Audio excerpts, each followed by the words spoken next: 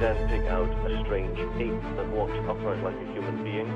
Um, that is very curious about the pygmies and will follow them through the forest sometimes, uh, right up to a gigantic spider called the J'ba Fofi, which means giant spider. That's about at least three or four feet across, looking much like a tarantula. So if we can come back with just one of those, it will it, will advance our cause tremendously. You mentioned a, uh, a, a spider in the Congo Basin. Was it three feet across?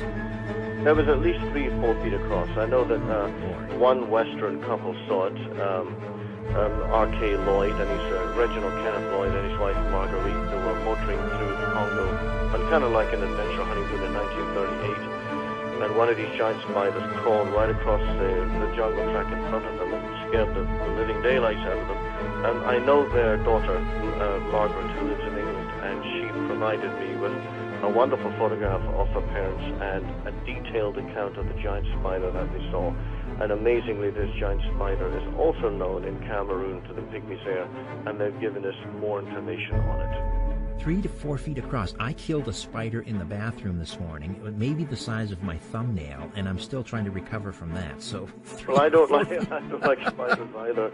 I'll be honest with you, but here's the here's the thing. Um, money talks even in the jungle. And if, if we can get enough funding together, we're looking to raise $70,000, partially for new equipment and partially because um, if we can encourage um, the pygmies to go out and kill one of these giant spiders and bring it to us, or take us to a location where we can see and film any one of the other mystery animals, we will reward them handsomely financially. Um, and, um, you know, that would go a long way to helping them build their plantations and improve their living conditions and so on. So, I'll throw 70000 into the pot. and Have them kill them all.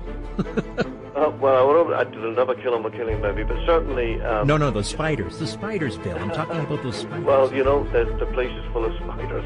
Bigger than your hand is the most common ones you see. And so we make sure that our tents are zipped up tight at night, I can tell you. Well, I haven't seen any any tarantulas four feet across, but I can tell you that the the tribespeople and and here here's where I could really, you know, bang my head off the wall. When I first went to Cameroon in November 2000 with David Wetzel from Concord, New Hampshire, I, I forgot to ask them about these giant forest spiders. When I went back in 2001 with the Discovery Channel film crew, I then asked the chief of the pygmies of that area, his name is Timbo, um, about the giant spiders, and he looked at me and said, "Well, sir, if, through a translator, if you had asked me that question when you were here last year, I could have taken you to a place where one of these giant spiders was very near a village in the forest. Because what they, they tend to do is they, they make a trap or some kind of dwelling similar in shape to a, a pygmy hut made out of leaves and everything. Um, and they, their eggs are peanut-sized, white eggs and they are very, very dangerous. They, they ambush and kill small forest game, um, but they're very dangerous nasty bite, but they can't kill you. And the pygmies tell us usually when they encounter these giant spiders, they'll kill them on sight because they, they just don't like them. So this is why we're determined to get back better funded next year so we can offer them a financial reward. Okay, uh, if you kill one of these things and present it to us, and if they can do that, and you email me my address here, wgibbons.shaw.ca,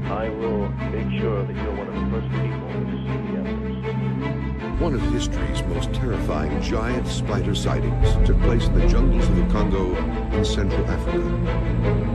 It happened to a British explorer, R.K. Lloyd and his wife, Marguerite. In 1938, Lloyd and his companions had to go on an adventurous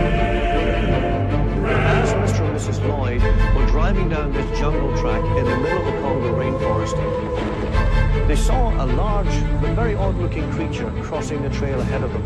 Now, at first they thought this was either a very large monkey on all fours or maybe a large jungle cat.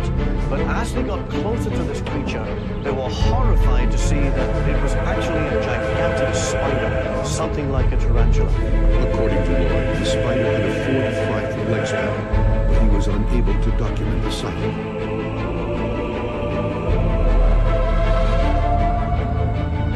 Lloyd reached for his camera, the giant spider scurried back into the forest and disappeared.